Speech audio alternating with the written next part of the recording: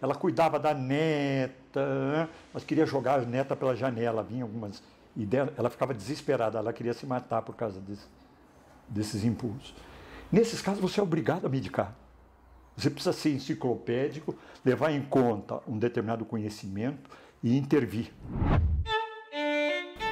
Eu sou diferente. Eu tinha a sensação de não saber exprimir o que passava comigo. Eu sou louca.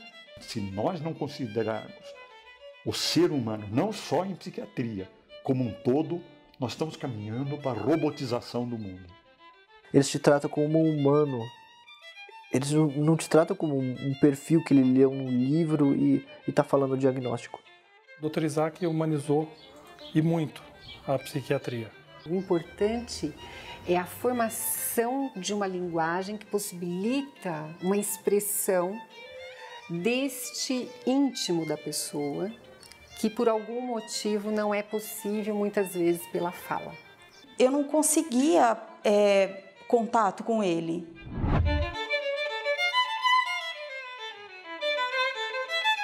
Porque quando a gente entra nessa comunicação mais profunda, não existe analista e paciente. Existe um encontro de duas, pessoas, duas almas. O que leva uma pessoa ao suicídio?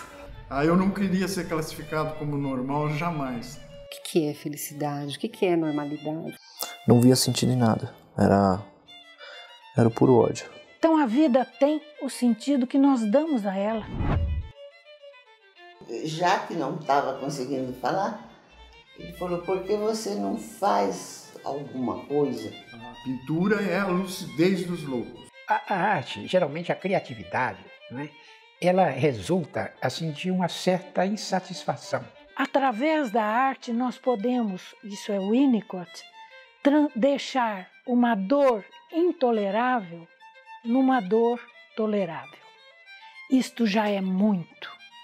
Quando alguém está no desespero, quando alguém não aguenta viver.